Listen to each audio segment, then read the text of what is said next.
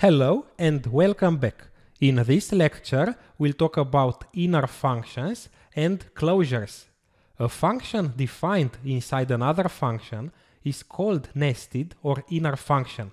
Inner functions can access variables of the enclosing scope. Let's see an example. I am defining a new function simply called outer. Inside the function, I am declaring a local variable, msg equals and a string, python. Inside the outer function, we define another function that references the msg variable. def inner, this is the name of the function, and I'll print out the msg variable msg between curly braces is really cool. And after defining the inner function, we call it.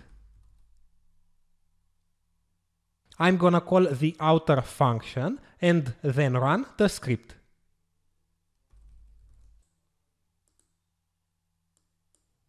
And it printed out Python is really cool. Now let me explain what happens behind the scenes. The inner function is created only when calling outer, not when outer is created. The outer's body is executed only when outer is called. The variable msg is called non-local or free variable for the inner function.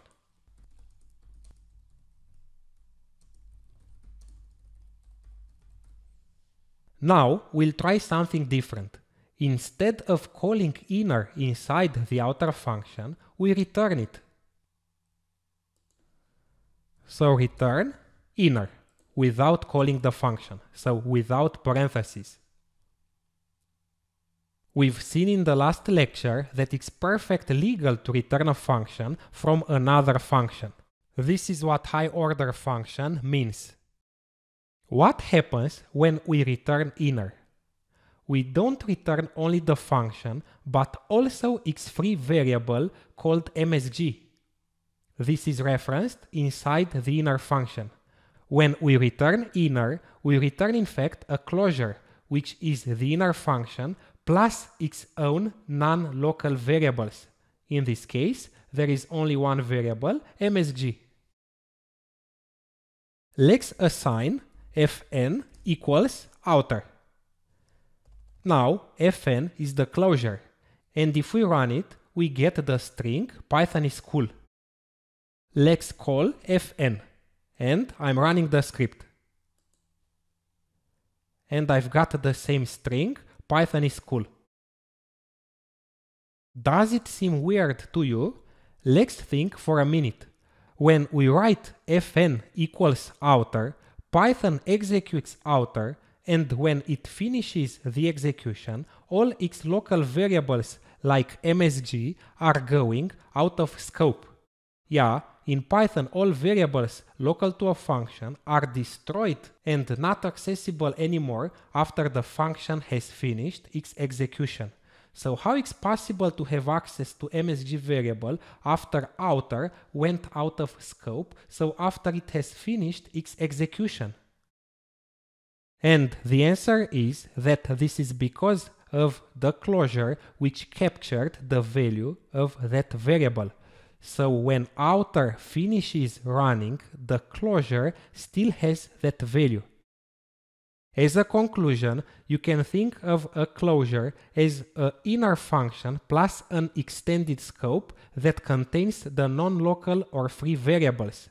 At least a free variable is a must to create a closure. By the way, we can get a list of all free variables of the closure in form of a tuple like this.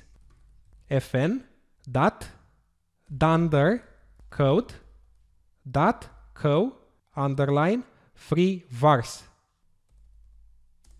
This statement will print out the free variables. And there is only one MSG.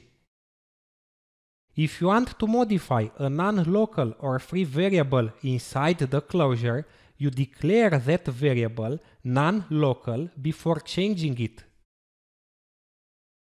For example, x equals 1, and inside the inner function, I write non-local x. Then I can modify x. For example, x plus equals 1, print x.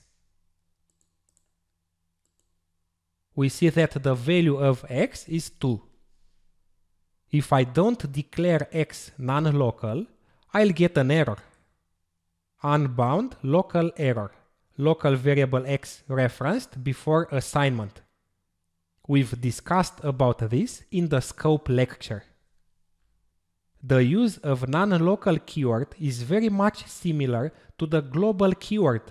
Non-local is used to declare that a variable inside a nested function is not local to it, meaning it lies in the outer enclosing function.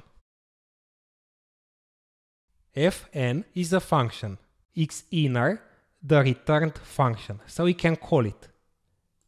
And I've done this on line 14. Let's call it again. And the new value of x is 3. Let's call fn again. Now the value of x is 4. And we notice that a closure saves the stakes and the values of non-local variables between calls. One more detail.